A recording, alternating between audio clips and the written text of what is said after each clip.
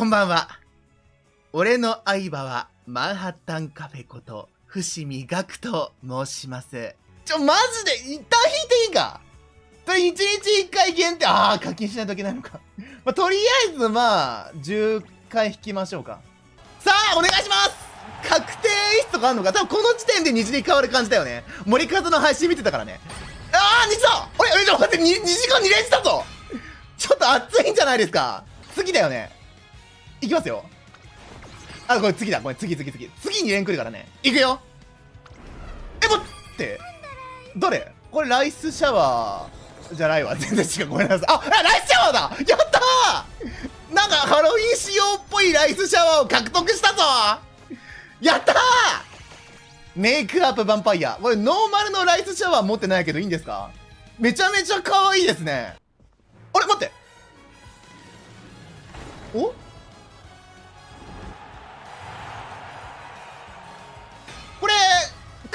演出、会長って確定演出で言ってた森方が配信で。これ来た！え、待って、いなくね？あれ、昇格だよね？多分。あ、来た、あ、待って！ああ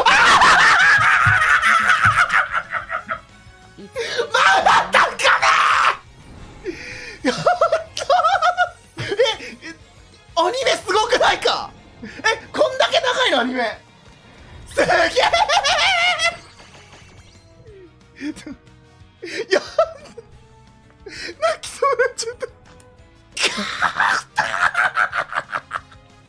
目玉なんですかこれ。やったー！あめっちゃあー！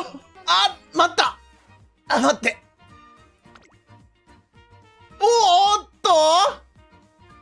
服装も変えられると？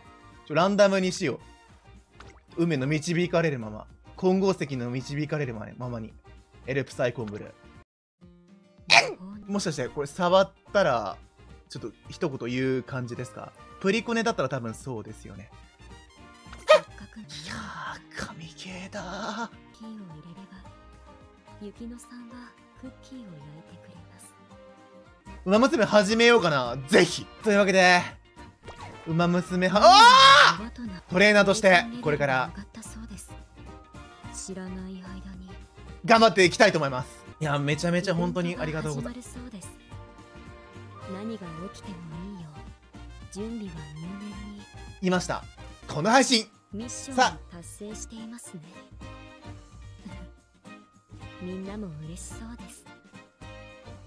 ピース！きっとみんなに流行るといいな。伏見。学した！じゃあなー。バイバーイ。はあ最高最高。の世界へ